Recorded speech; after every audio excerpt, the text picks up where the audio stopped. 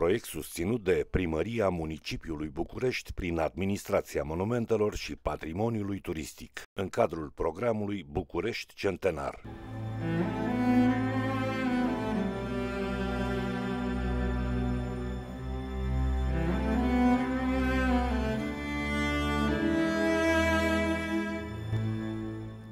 Pe strada Academiei, lângă Institutul de Arhitectură Ion Mincu, se află un sfânt lăcaș de rugăciune ctitorit de însăși Doamna Maria, soția voievodului martir Constantin Brâncoveanu. Ctitoria este cunoscută sub numele de Biserica Sfântul Nicolae dintr-o zi, deoarece, potrivit tradiției, la începutul secolului XVII, pe locul actualei clădiri, ar fi fost o bisericuță de lemn ridicată într-o singură zi prin dăruirea postelnicului Neagu, mai târziu, terenul și bisericuța de lemn au ajuns în posesia Mariei, descendentă a primului ctitor, devenită mai apoi soția lui Vodă Brâncoveanu și doamnă a țării românești.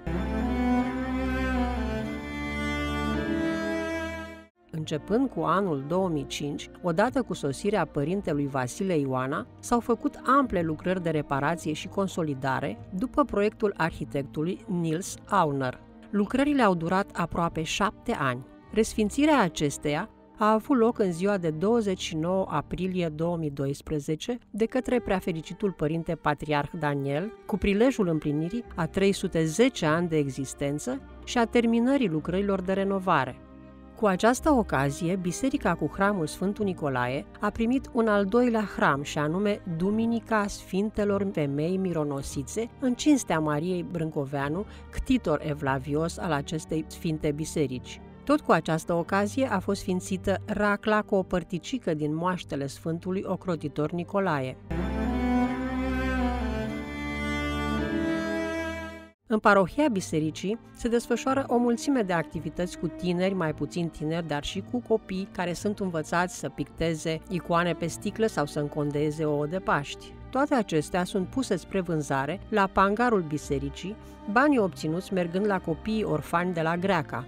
Preoții dedică mult timp, mai ales tinerilor, celor care au nevoi reale de învățătură creștinească și de drum drept printre ispitele pe care le oferă societatea modernă.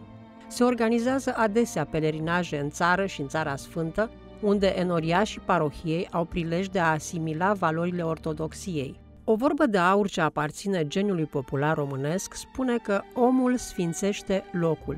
Credem că este la fel de adevărată și vorba luată pe dos. Locul sfințește oamenii. Odată ce intri într-un sfânt lăcaș religios, să ridici o rugă la bunul Dumnezeu, să-ți speli ochii fizici și ai sufletului privind icoane săvârșite de mâini îngerești, să-ți reze în fruntea de moaște sfinte, cum ai mai putea ieși altfel decât înduhovnicit? Proiect susținut de Primăria Municipiului București prin Administrația Monumentelor și Patrimoniului Turistic, în cadrul programului București Centenar.